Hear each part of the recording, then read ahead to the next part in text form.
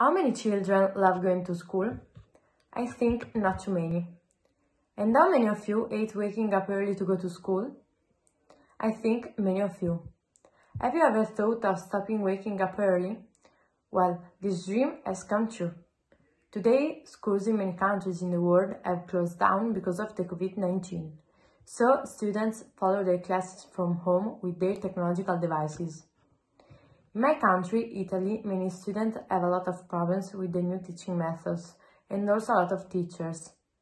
This type of teaching has some flaws because sometimes you can have problems with the internet connection or with the pin of the class, and so you can follow what teachers say. Basically, there are three main issues. Issue number one is cheating. Tests aren't truthful because students can cheat. They are at home with their books and their notes, and also oral tests aren't always authentic, because you can read the answer in your book and your teachers can't realize. So, students should need a sort of code of honor, a standard of behavior. A cheater is a traitor, don't forget. This situation looks like science fiction, but it's reality. It makes me think of the short story by Isaac Asimov, The Fun They Had, the story was written in 1951, but it's about a school in 2157.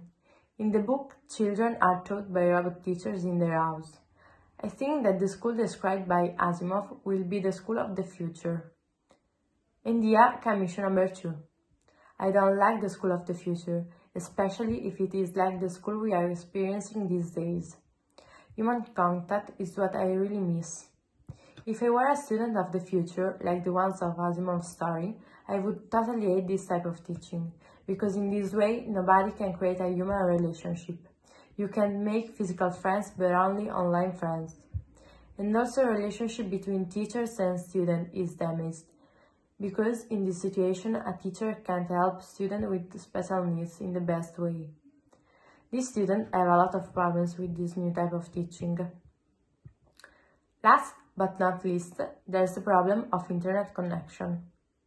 My country is not a technologically advanced, but for the moment, I think there isn't a way to solve these problems.